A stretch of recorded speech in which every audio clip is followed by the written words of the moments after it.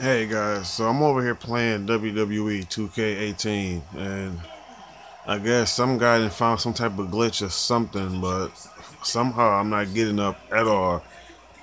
He's somehow constantly getting this move off on the other guy. I mean, this is crazy. We've been going at this for at least 15 minutes.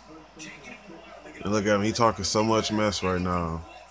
I'm gonna get it close up so you can see his name. Do not play with this guy right there. What is that? South Ward 123. Do not play with that dude, trust me. I don't know what he did, some type of glitch. I'm not moving.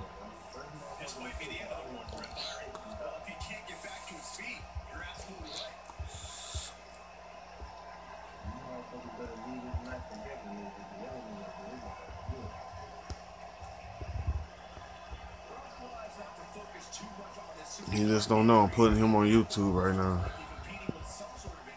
So the world can know to not play with this chump. I guess WWE then slipped up and gave up some type of glitch or something, but it's like he hit me with the chair and then he started pulling me up the ramp and I just couldn't get up after that. Like period.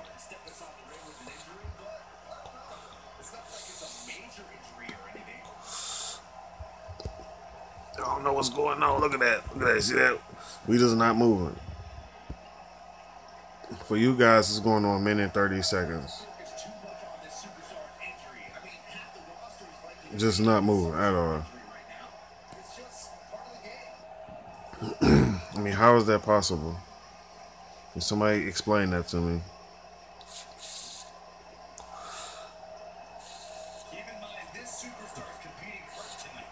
Yes, I'm smoking in case if you hear something in the back. That's me. I just said, hey, might as well, you know, I'm not getting up anytime soon. I'm not gonna quit either. So I wonder how this is gonna go.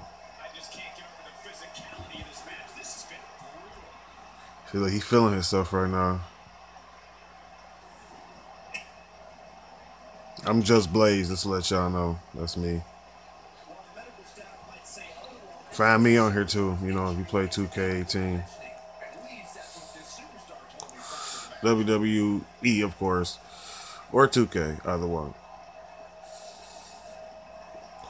But look at this though. Look at this. This is unbelievable. Still not getting up. I can press all the buttons in the world.